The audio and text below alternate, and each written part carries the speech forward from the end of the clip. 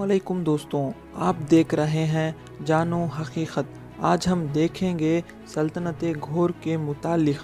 यही वो अजीम सल्तनत है जो बुद्ध मज़हब से इस्लामी सल्तनत में तब्दील हुई थी।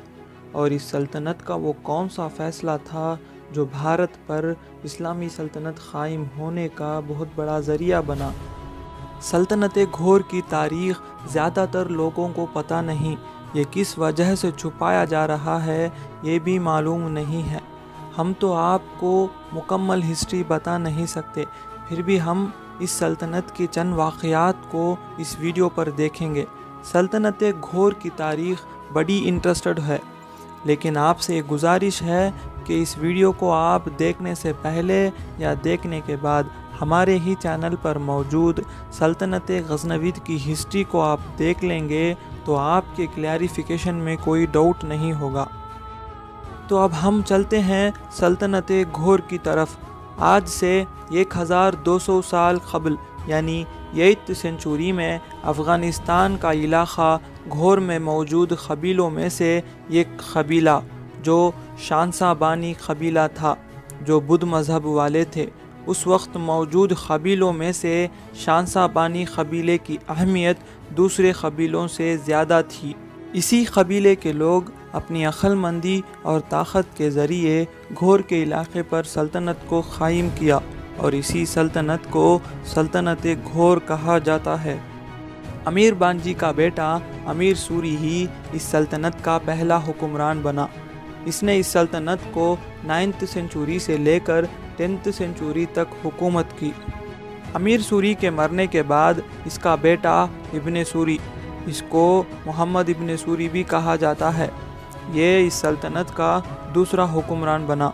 मिनहजुल सिराज, जो मशहूर हिस्टोरियन है, उन्होंने अपनी किताब में लिखते हैं कि सुल्तान महमूद गजनवी ने घोर पर हमला कर कर इब्ने सूरी को कैद कर लिया था और इसकी मौत एक हज़ार ग्यारह सन ईस्वी में हुई। इसी दौर में घोर के लोग इस्लामी अहकाम को देखकर ज़्यादा से ज़्यादा तादाद में बुद्ध मज़हब से मुसलमान हो गए थे और इब्ने सूरी का बेटा अबू अली इब्न मोहम्मद भी मुसलमान हो गया था। इस तरह खुदा ने इन लोगों को इस्लाम से सरफराज फरमाया। और ये सल्तनत बुद्ध मज़हब से इस्लामी सल्तनत में तब्दील हो गई थी। और अबू अली इब्न मोहम्मद इस सल्तनत का पहला मुसलमान हुक्मरान हुआ। और अबू अली इब्न मोहम्मद ने घोर के इलाके पर कई मस्जिदें और मदरसों की तामीर की। इस तरह क़ायम हुई ये सल्तनत उरूज पर पहुँचने के कोशिशें करते रही और लवेंथ सेंचुरी में गजनवी सल्तनत भी कमज़ोर हो रही थी।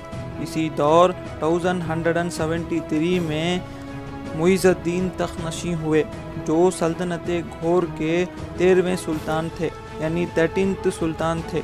इन्होंने अपने भाई क़ियाज़ुद्दीन महमूद के साथ मिलकर year thousand hundred and seventy five में हमिद लूडी डायनास्टी से मुल्तान को हासिल किया और year thousand hundred and eighty six में गजनवी सल्तनत पर हमला करके उसे सफ़े हस्ती से मिटा दिया और गजनवी सल्तनत के सारे इलाके को घोरी सल्तनत में शामिल कर लिया।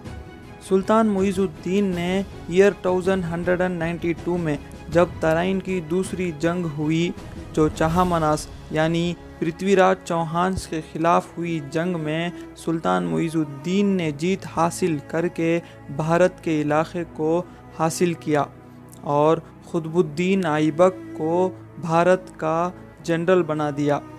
सुल्तान मुइज़ुद्दीन का यही वो फ़ैसला था जो भारत पर इस्लामी सल्तनत क़ायम होने का बहुत बड़ा ज़रिया बना।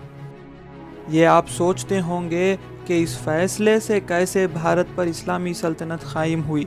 इन ये हम आपको हिस्ट्री ऑफ़ इंडिया के वीडियो पर बताएँगे। इस तरह सुल्तान मुइज़ुद्दीन ने सल्तनत घोर को उरूज पर ले गए। सुल्तान मुइज़ुद्दीन की वजह से ही सल्तनत घोर अफ़गानिस्तान, पाकिस्तान और भारत के इलाक़ों पर हुकूमत की। और सुल्तान मुइज़ुद्दीन ने ईयर 1206 तक हुकूमत की।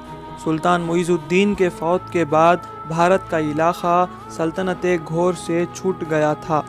अफ़गानिस्तान और पाकिस्तान में भी सल्तनत घोर कमज़ोर हो रही थी। छोटी छोटी सल्तनतों और बगावतों की वजह से सल्तनत घोर अपने हाथों से इलाक़ों को खो रही थी। और सल्तनत ख्वारज़मी जो सेंट्रल एशिया की ताकतवर सल्तनत थी। उसने सल्तनत घोर को सफ़े हस्ती से मिटा दिया और इस सल्तनत का आखिरी सुल्तान अलाउद्दीन को ख्वारज़मियों ने क़ैद कर लिया। तो कुछ ही सालों में अलाउद्दीन की भी फौत हो गई। इस तरह सल्तनत घोर इस दुनिया में सत्रह हुक्मरानों के ज़रिए लगभग 300 साल से भी ज़्यादा हुकूमत की। उम्मीद है कि ये इन्फॉर्मेशन आपको काम आएगी। लाइक और शेयर करें और हमारे चैनल को सब्सक्राइब करना ना भूलें। तो मिलते हैं अगले इन्फॉर्मेशन के साथ। खुदा हाफिज़।